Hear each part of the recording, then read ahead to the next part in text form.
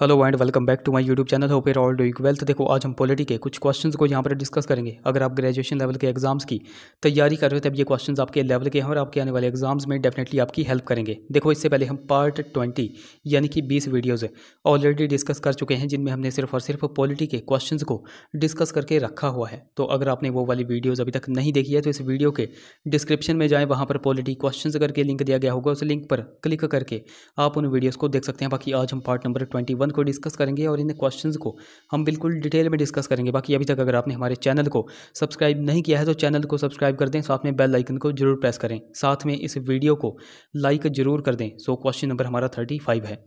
The success of democracy depends upon. तो लोकतंत्र की सफलता किस पर निर्भर करती है? तो यह राइट टू अपोज, यानी कि विरोध करने के अधिकार पर निर्भर करती है। ऑप्शन ए यहाँ पर करेक्ट हो जाएगा। अब देखो, ऑप्शन ए में है विरोध करने का अधिकार। तो यह किन अधिकारों के अंतर्गत आता है? तो ये आता है मौलिक अधिकारों के अंतर्गत। तो देखो, यहाँ पर बेसिकली मौलिक अधिकारों की ही बात की गई है। तो मौलिक अधिकारों के बारे में कुछ एक पॉइंट्स आपको पता होना चाहिए। पहला पॉइंट कि मौलिक अधिकारों की चर्चा किस आर्टिकल में की गई है? तो मौलिक अधिकारों की चर्चा चर्चा आर्टिकल बारह से लेकर के आर्टिकल पैंतीस तक की गई है। ये पॉइंट आपके लिए इंपॉर्टेंट है। और कई बार आपसे पूछा जाता है कि मौलिक अधिकारों की चर्चा किस भाग में की गई है? तो भाग भी आपको पता होना चाहिए, भाग तीन में चर्चा की गई है और आर्टिकल भी आपको पता होना चाहिए आर्टिकल बारह से लेकर के पैंतीस तक। ये तो हमने देखा एक पॉइंट कई बार देखो आपसे यहाँ पर पूछा जा रहा है कि समता या फिर समानता के अधिकार का वर्णन किस आर्टिकल में किया गया है? तो समता या फिर समानता के अधिकार का वर्णन आर्टिकल चौदह से लेकर के अठारह तक किया गया है। ये भी पॉइंट आपके लिए इंपॉर्टेंट है। कई बार आपसे पूछा जाता है स्वतंत्रता का अधिकार। तो स्वतंत्रता के अधिकार का वर्णन आर्टिकल 19 से लेकर के 22 तक किया गया है। ये दो पॉइंट आपको नोट रखने ये बहुत बार एग्ज़ाम में बन रहे हैं, इसलिए मैंने आपको यहाँ पर बता दिए। अगले क्वेश्चन की बात करें। In which country there is a federal government. तो किस देश में संघीय सरकार है? अब देखो, हमारे इंडिया में क्या है? हमारे इंडिया में फेडरल गवर्नमेंट नहीं है, बल्कि यहाँ पर यूनियन ऑफ़ स्टेट्स यानी कि यूनियन गवर्नमेंट है। ये आपको पॉइंट नोट रखना है। तो फेडरल गवर्नमेंट कहाँ की है? तो यह है यूनाइटेड स्टेट्स ऑफ़ अमेरिका, यानी कि ऑप्शन बी यहाँ पर करेक्ट हो जाएगा। अब देखो, यहाँ पर मैंने आपको क्या बताया, यहाँ पर मैंने आपको बताया कि भारत क्या है? भारत जो है तो राज्यों का संघ है, यानी कि यूनियन ऑफ़ स्टेट्स है। तो देखो, इसी से रिलेटेड आपसे क्वेश्चन पूछा जाता है कि भारत राज्यों का संघ है, यह किस आर्टिकल में कहा गया है? तो आर्टिकल वन में यह कहा गया है, ये पॉइंट आपके लिए इंपॉर्टेंट है, ये बहुत बार एग्ज़ाम में बनता है। अब देखो, ये तो हमने देखा एक पॉइंट। कई बार देखो, इसी से रिलेटेड एक और क्वेश्चन आपसे पूछा जाता है कि किस देश से, किस देश से जो है तो भारत की संघीय प्रणाली संबंधित है? यानी कि भारत की जो संघीय प्रणाली है इंडियाज़ फेडरल सिस्टम है, वह किस देश से संबंधित है? तो वह कैनेडा से संबंधित है। ये पॉइंट बहुत बार एग्ज़ाम में बनता है, इसलिए मैंने आपको यहाँ पर बता दिया, ये मोस्ट इंपॉर्टेंट क्वेश्चन है, जो कि पूछा जाता है। ये भी आपको नोट रखना है। अगला question Malayalam is the official language of. तो किसकी आधिकारिक भाषा मलयालम है? तो मलयालम आप सभी को पता है किसकी आधिकारिक भाषा है तो वो है केरला की। अब केरला ऑप्शन में नहीं है तो फिर और किसकी है? तो और है यह लक्षद्वीप की। ये आपको नोट रखना है, इसलिए ऑप्शन बी यहाँ पर करेक्ट हो जाएगा। अब देखो, केरला आप सभी को पता था, इसलिए जो एग्जामिनर होता है, उसने केरला ऑप्शन में नहीं दिया। ऑप्शन बी यहाँ पर करेक्ट हो जाएगा, लक्षद्वीप और केरला की। ऑफिशियल लैंग्वेज कौन सी है? तो वो है मलयालम। ये आपको पॉइंट नोट रखना है। अब देखो, कई बार आपसे पूछा जाता है, तमिलनाडु। तमिलनाडु की ऑफिशियल लैंग्वेज कौन सी है? तो तमिलनाडु की ऑफिशियल लैंग्वेज है तमिल। कई बार आपसे पूछा जाता है, कर्नाटका की ऑफिशियल लैंग्वेज कौन सी है? तो वो है कन्नडा। उड़ीसा की ऑफिशियल लैंग्वेज कौन सी है? तो वो है उड़िया। कई बार आपसे पूछा जाता है, आंध्र प्रदेश और तेलंगाना। आंध्र प्रदेश और तेलंगाना की ऑफिशियल लैंग्वेज कौन सी है? तो वो है तेलुगु। ये भी आपको पता होना चाहिए। अब देखो, एक क्वेश्चन मैं आपको हर बार बताता हूँ, सिक्किम। सिक्किम की ऑफिशियल लैंग्वेज मैंने आपको बहुत बार बताई हुई है, ये आप नीचे कमेंट्स में बता दो। अगर आपको देखो, नहीं भी आता है, तभी आपने क्या करना है? आपने गूगल पे जाना है गूगल पे सर्च करना है और सर्च करने के बाद इस वीडियो पे आकर के आपको नीचे कमेंट करना है। देखो कमेंट करने से आपका ही फ़ायदा है मैं आपको हर बार बोलता हूँ कि जो चीज़ आप कमेंट कर देते हो, वो चीज़ आप कभी भूलते नहीं हो। अगले क्वेश्चन की बात करें। अब देखो, ये भी क्वेश्चन हमने यहाँ पर पहले ही पॉलिटी वाली क्लास में ही डिस्कस किया हुआ था। चलो, आज भी हम यहाँ पर देख लेते हैं। When did the first linguistic state of Andhra come into existence तो आंध्र का प्रथम भाषाई राज्य कब अस्तित्व में आया था? अब देखो, भारत का पहला भाषाई आधार पर निर्मित पहला राज्य कौन सा था? तो वो था आंध्र प्रदेश। और इसको कब गठित किया गया था? तो एक अक्टूबर उन्नीस को इसको गठित किया गया था। ऑप्शन बी यहाँ पर करेक्ट हो जाएगा। अब देखो एग्जैक्ट डेट आपको पता होनी चाहिए। अगर आपको एग्जैक्ट डेट पता है, तभी आप इस क्वेश्चन का राइट ऑप्शन टिक कर सकते हो। सो ऑप्शन बी यहाँ पर करेक्ट हो जाएगा। और वहाँ पर देखो, मैंने जब आपको ये क्वेश्चन करवाया हुआ था, मैंने बिल्कुल डिटेल में करवाया हुआ था मैंने आपको बताया हुआ था कि किसके प्रयासों से आंध्र प्रदेश को जो है तो प्रथम भारतीय राज्य बनाया गया था on the basis of linguistic तो देखो, पोटी श्रीराम उल्लू जो पोटी श्रीराम उल्लू थे, उनके प्रयासों से जो है तो आंध्र प्रदेश को भारतीय राज्य बनाया गया था पहला लिंग्विस्टिक लिंग्विस्टिक बेसिस के आधार पर। अब देखो, पोटी श्रीराम उल्लू ने जो है तो क्या किया था? उन्होंने भूख हड़ताल कर दी थी हंगर स्ट्राइक कर दी थी, या फिर आप कह सकते हो कि लेंदी फास्ट इन्होंने कर दिया था, जिस वजह से इनकी मृत्यु हो गई थी। और मृत्यु होने के बाद ही भारत का पहला भाषाई आधार पर निर्मित प्रथम राज्य हो गया था, फिर आंध्र प्रदेश। ये आपको नोट रखना है, डेट आपको नोट रखनी है, एक अक्टूबर 1953 ये बहुत बार एग्ज़ाम में बनती है। अच्छा यहाँ से आप एक क्वेश्चन का आंसर कमेंट्स करके बताओ कि जो हमारा हिमाचल प्रदेश है, हिमाचल प्रदेश को कब भारतीय राज्य जो है तो कब भारत का, भारतीय राज्य का दर्जा दिया गया था, ये आप नीचे कमेंट्स में बता दो। अगले क्वेश्चन की बात करें, क्वेश्चन हमारा थर्टी नाइन है which is not a salient feature of our constitution तो कौन सा? हमारे संविधान का विशिष्ट लक्षण नहीं है, अब नहीं पूछा गया है। ऑप्शन बी में देखो, पार्लियामेंट्री फॉर्म ऑफ़ गवर्नमेंट, यानी कि सरकार का संसदीय स्वरूप। देखो, यह भी हमारे संविधान का विशिष्ट लक्षण है। ऑप्शन सी में है, संप्रभु लोकतांत्रिक गणराज्य, यानी कि सोवर्ण डेमोक्रेटिक रिपब्लिक। तो ये भी हमारे संविधान का विशिष्ट लक्षण है। ऑप्शन डी में है, डीपीएसपी, यानी कि राज्य के नीति निदेशक तत्व समाविष्ट हैं। तो ये भी हमारे संविधान का विशिष्ट लक्षण है। अब हमारे संविधान का विशिष्ट लक्षण, ऑप्शन ए में देखो, अमेरिकी मॉडल के समान एक संघीय राजनीति यानी कि federal policy akin to the American policy. यह जो है तो हमारे संविधान का विशिष्ट लक्षण नहीं है। इसलिए ऑप्शन ए यहाँ पर करेक्ट हो जाएगा। अब देखो, ये मैंने आपको थोड़ी देर पहले ही करवाया हुआ था कि हमारे जो हमारा देश है, भारतीय हमारा देश है तो भारत की संघीय प्रणाली किस देश के संविधान से मेल खाती है? तो मैंने आपको बताया हुआ था कि भारत की जो संघीय प्रणाली है, वह कनाडा के संविधान से मेल खाती है। अब यहाँ पर अमेरिका दिया गया था, इसलिए इस क्वेश्चन का राइट ऑप्शन हो गया ऑप्शन ए अमेरिका यहाँ पर नहीं होना चाहिए था, यहाँ पर कैनेडा होना चाहिए था। ये भी पॉइंट आपको यहाँ पर नोट रखना है। अब ये तो हमने देखा एक पॉइंट कि हमारे संविधान का विशिष्ट लक्षण कौन सा नहीं है।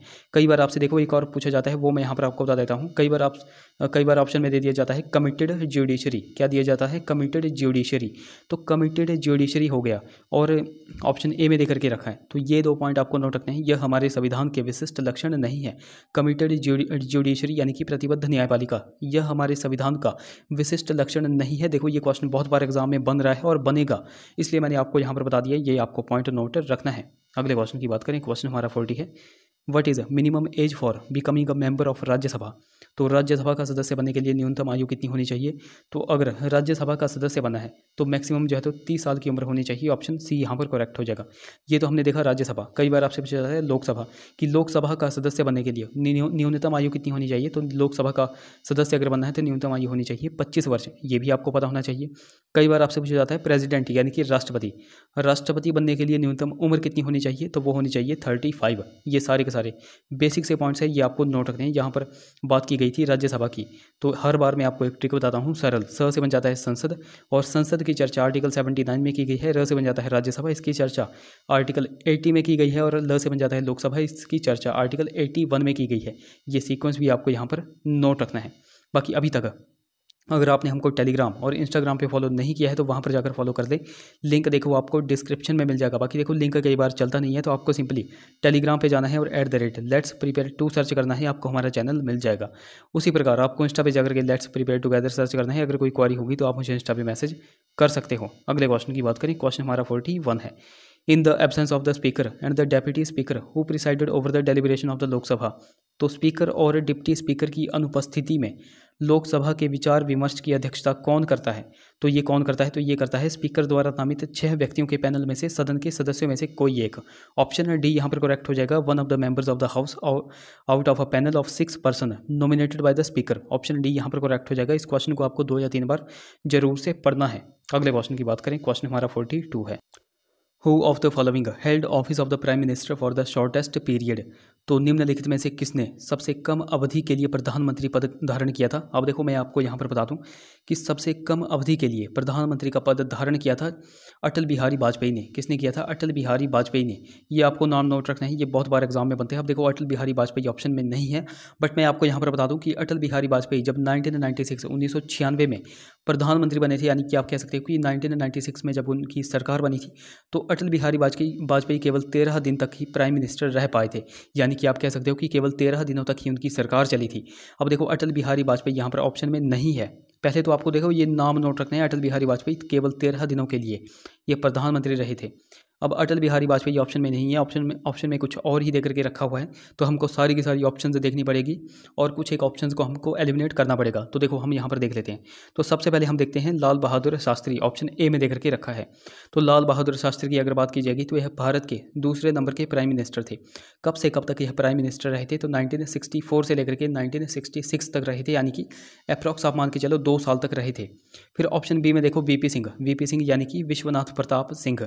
यह भारत सातवें नंबर के प्राइम मिनिस्टर रहे थे और कब से कब तक इनका टाइम पीरियड था तो 1980 से 89 से लेकर के 1990 यानी कि आप अप्रॉक्स मान के चलो एक साल तक यह भारत के प्राइम मिनिस्टर रहे थे।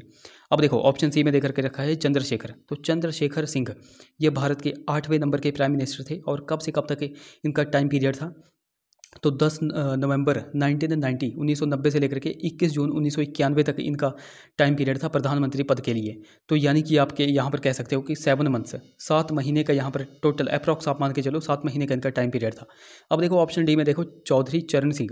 तो चौधरी चरण सिंह, यह भारत के देखो पाँचवें नंबर के प्राइम मिनिस्टर थे और कब से कब तक इनका टाइम पीरियड था? तो अट्ठाईस जुलाई उन्नीस सौ नवासी, यानी कि 1979 से लेकर के 14 जनवरी 1980 तक इनका टाइम पीरियड था, यानी कि आप अप्रॉक्स मान के चलो सिक्स मंथ्स सिक्स मंथ्स आप अप्रॉक्स मान के चलो इनका टाइम पीरियड था प्रधानमंत्री पद के लिए।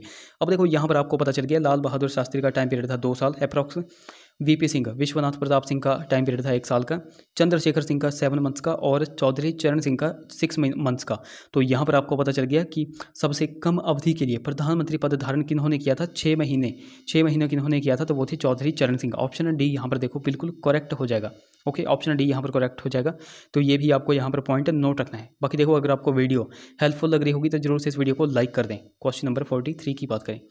The Prime Minister, Union Cabinet Minister, Chief Minister and Council of Ministers are all members of तो प्रधानमंत्री संघीय कैबिनेट मंत्री मुख्यमंत्री और मंत्रिमंडल सभी सदस्य होते हैं। अब देखो कुछ एक स्टूडेंट्स ऑप्शन ए देखते हैं नीति आयोग और ऑप्शन ए टिक कर देते हैं जो कि बिल्कुल गलत है। आपको पहले नोट रखना है कि प्रधानमंत्री हो गए यूनियन कैबिनेट मिनिस्टर हो गए चीफ मिनिस्टर हो गए काउंसिल ऑफ़ मिनिस्टर हो गए ये सारे के सारे मेंबर होते हैं नेशनल डेवलपमेंट काउंसिल यानी कि एनडीसी के यानी कि राष्ट्रीय विकास परिषद के ये आपको पॉइंट नोट रखना है इसलिए इस क्वेश्चन का राइट ऑप्शन क्या हो जाएगा? ऑप्शन डी यहाँ पर करेक्ट हो जाएगा। अब एनडीसी यानी कि नेशनल डेवलपमेंट काउंसिल की यहाँ पे बात की गई है। तो इसकी स्थापना कब की गई थी? इसकी स्थापना छः अगस्त उन्नीस को की गई थी। ये क्वेश्चन बहुत बार एग्ज़ाम में बनता है। ये भी आपको यहाँ पर नोट रखना है। अच्छा यहाँ पर देखो ऑप्शन ए में देकर के रखा है नीति आयोग। तो नीति आयोग के बारे में आप सारा का सारा नीचे कमेंट्स में बताओ कि नीति आयोग की फुल फॉर्म क्या है? नीति आयोग की स्थापना कब की गई थी? नीति आयोग के प्रेजेंट में चेयरमैन कौन है? नीति आयोग के प्रेजेंट में सीईओ कौन है? ये सारा का सारा आप नीचे कमेंट्स में बताओ। इसका हेडक्वार्टर कौन सा है? अगले क्वेश्चन की बात करें। क्वेश्चन हमारा फोर्टी फोर है। Which tax is exclusively and totally assign to the central government by the constitution तो कौन सा कर? संविधान द्वारा केवल और पूर्णतः केंद्र सरकार को सुपर्द किया गया है। तो देखो, इस क्वेश्चन में थोड़ा सा डाउट है, जो प्रोविजनल आंसर की है। प्रोविजनल आंसर की के अकॉर्डिंग इस क्वेश्चन का राइट ऑप्शन है ऑप्शन डी जो कि बिल्कुल करेक्ट होना चाहिए कॉर्पोरेशन टैक्स हम इसका राइट ऑप्शन वैसे तो ऑप्शन डी ही मान के चलेंगे। बाकी कुछ कुछ जगह पर ऑप्शन सी भी देकर के रखा हुआ है। बाकी देखो, आप नीचे कमेंट्स में बताओ कि इस क्वेश्चन का राइट ऑप्शन क्या होना चाहिए, आप नीचे कमेंट्स में बता दो। तो देखो गाइज़ ये थे हमारे कुछ क्वेश्चन आई होप वीडियो आपको इन्फॉर्मेटिव लगी होगी। अगर वीडियो अच्छी लगी है तो ज़रूर से इसे लाइक करें शेयर करें चैनल को सब्सक्राइब करें। साथ में हमें टेलीग्राम और इंस्टाग्राम पर फॉलो करना बिल्कुल भी ना भूलें। तो चलिए मिलते हैं अगली वीडियो में। टिल दन टेक केयर